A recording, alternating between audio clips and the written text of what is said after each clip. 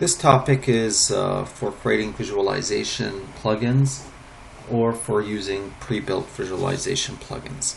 Uh, in MicroStrategy 10 now, uh, one of the coolest things uh, is their depend higher dependence on HTML5, which means there's going to be a lot of opportunity for creative builders to design HTML5 ready visualizations that can be plugged in. So MicroStrategy wanted to take advantage of it and encourage it. So let's see what they did. Go here, and one of the things that they want to take advantage of, which is um, the GitHub. So if you haven't heard of it, it's github.com. Okay.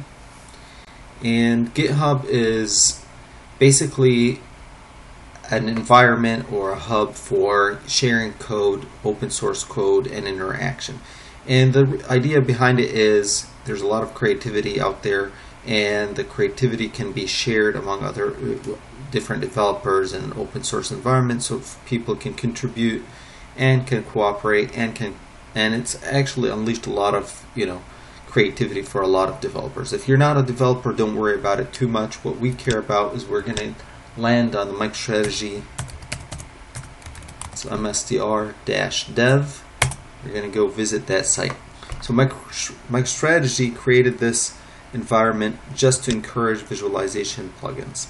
And there's also a few that are being created for Command Manager at the moment, and I can only imagine that more people will be jumping on this wagon soon.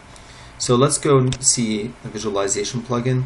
You see here there's a lot of activity these are all different uh, plugins that are being created.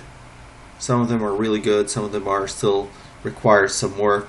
The idea is, as a developer, you can go in and try to modify, add, upgrade. It's free, it's open source. You could sign in to GitHub if you have a user account. You could create a user account. Uh, you could actually download a uh, the Windows component that allows you to access GitHub and download things immediately, or you could use the download zip. So let's assume you want to download uh, something from here using a zip. Just click on the download zip. Let's download this file, which has a few of these samples, and uh, so click here to download. All right. So here we go and let's choose the one we want to use. So I'm going to right click and copy. If it's not extracted, you might want to extract it first. And I'm going to copy this. And then I'm going to go into MicroStrategy. So I'm going to go on my machine. And I'm going to go into MicroStrategy. So I'm going to go here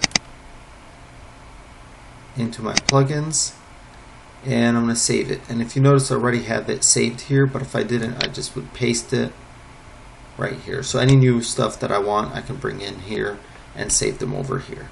Now in these folders, they're all identical in structure. So if I look at this, there's going to be three folders, and each one is going to have multiple layers. And this actually is a specific style that you need to follow.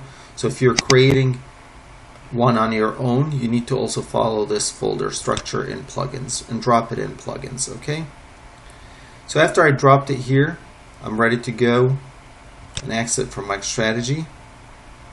So let me go to my admin on the web. I'm going to restart my iServer after and I'm going to connect. Okay, and now I'm ready to log in. I'm going to create a dashboard. Now I'm using the web created dashboard to take advantage of this. But you could have used MicroStrategy Desktop as well if you have MicroStrategy Desktop downloaded. And notice I have a new plugin or choose an existing dataset.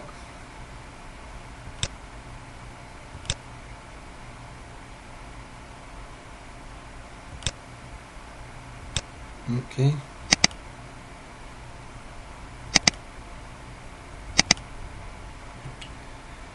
So as you notice here, it's a very simple example, but you'll see that these are the different regions, and these are the different years. You could reverse the order. Now your regions are on the outside and your years are in the inside. Okay, and there you go. You got your sunburst visualization and any other visualization that we just downloaded from the MicroStrategy GitHub. Thank you for watching, and hopefully you can take advantage of these uh, visualizations and contribute your own visualizations